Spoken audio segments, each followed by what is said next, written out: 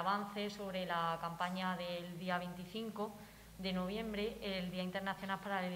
la Eliminación de la Violencia contra las Mujeres,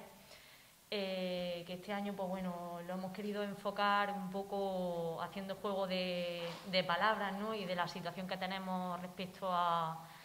esa inquietud que tenemos hacia la vacuna con, la pandemia de, que estamos viviendo ahora mismo. Pues hemos querido jugar un poco con, con esas palabras, con esos conceptos.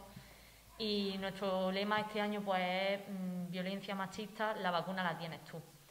Hemos querido, pues, como podéis ver a mi espalda, eh, no solo hacer un cartel, sino varios carteles, porque creemos que, que, esta, que la vacuna a esta, a esta violencia que sufren las mujeres, pues creemos que no es solo Mm, de una parte de la sociedad o de la población, sino que todos estamos implicados. Entonces, en este sentido, la campaña se ha querido enfocar de esta manera, ¿no? Todos, todos, forma, y todas formamos parte de una sociedad y todos y todas tenemos esa vacuna a, la violencia hacia las mujeres. Eh, este año sí que es verdad que es un año bastante atípico debido a la situación en la que nos encontramos por lo que apenas vamos a poder tener actividades presenciales. Eh, sí tendremos este año, eh, si todo sigue tal y como estamos ahora mismo, el pleno institucional el día 25 de noviembre a las 10 horas. Es una situación extraña y por eso el pleno pues, no podrá tener los mismos aforos que en años anteriores estará limitado pues, a lo que es la corporación municipal y a las distintas representantes del Consejo Local de la Mujer. Posteriormente iremos a la Plaza de la Constitución a hacer pues, bueno, la lectura de nuevo del manifiesto y allí haremos la, representación ofrenda floral que todos los años hacemos eh, en memoria de las mujeres asesinadas y de los menores asesinados por la violencia machista si todo sigue tal y como está ahora mismo y no tenemos una situación de mayor restricciones de movimiento, porque es verdad que el día 23 terminarían las restricciones que hay ahora mismo y no sabemos si va a haber, vamos a seguir la misma línea o otras nuevas. Esto puede ser que cambie en función de, la situación. Eh, mm, pues bueno, eh, hemos querido enfocar toda la campaña a lo que son redes y, lo que es pues difusión de información eh, que creemos que necesitamos por la mayor parte de la población. Eh, así pues vamos a hacer un buzoneo general en todo Linares con, con, un flyer donde vienen los distintos números de teléfono y direcciones o correos electrónicos que creemos que son muy importantes mm, debido a la situación que hemos tenido de confinamiento extremo y que creemos que es una información que debemos fomentar o, tener mucho más en cuenta, así que haremos un buzoneo en todo Linares, eh, pues con los datos del Centro Municipal de Información a la Mujer, con los de emergencias, Policía Local, Policía Nacional, Guardia Civil, todos los números de teléfono, el Centro de Provincia de Información a la Mujer, porque vemos que, en muchos casos pues no sabemos cómo ayudar a otra persona o cómo nosotros mismos mm, dónde podemos tener esa información, dónde podemos acudir. Entonces creemos que es muy importante eso. Eh, vamos a hacer también, eh, bueno, todo Linares va a tener el cartel. Eh, hemos contratado un servicio de publicidad en los, en los, transportes urbanos de Linares, así que, el cartel también estará en pleno movimiento por todo Linares.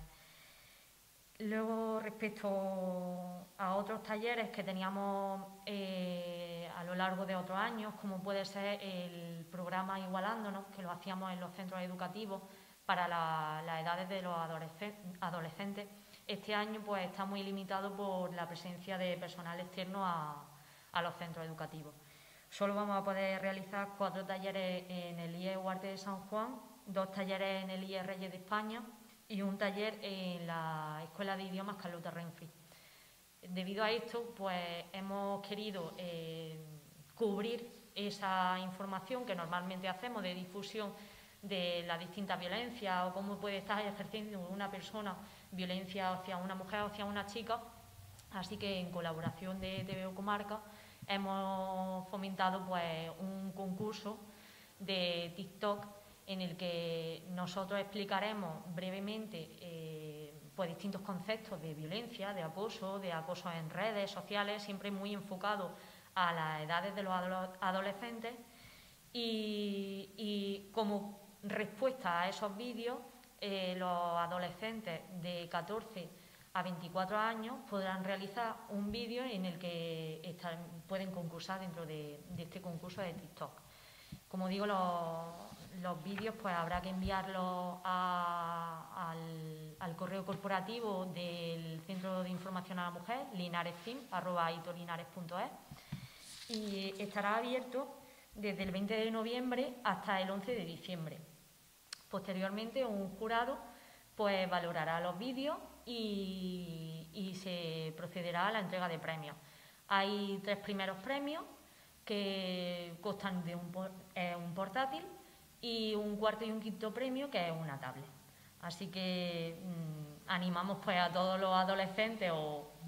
mm, personas que hasta 24 años quieran participar porque creemos también que, puede servirnos también eh, en una situación en la que no sabemos la educación tampoco cómo va a avanzar y quizá hay algún adolescente pues que se vea necesitado de, ese material y es una buena oportunidad para concursar. Eh, por otra parte, pues bueno, eh, también tenemos previsto intensificar las actividades del día 25 en zonas ERAFI se está planificando también, pues de alguna manera, eh, hacer algo representativo en alguna plaza, tanto de Arrayanes como de la zona del, Cerro, San Antonio, eh, o visibilización, creación de, nuevos lemas para concienciar respecto a este tipo de, violencia. Y, bueno, también hemos querido crear unas mascarillas que haremos entrega pues, a distintas personas de Linares que todo aquel pues que, esté dentro de los colectivos del, Consejo Local de la Mujer pues se le hará llegar. Y creo que por, por, ahora pues eso es todo lo que os puedo ir avanzando porque este año la actividad va a ser muy, muy, muy.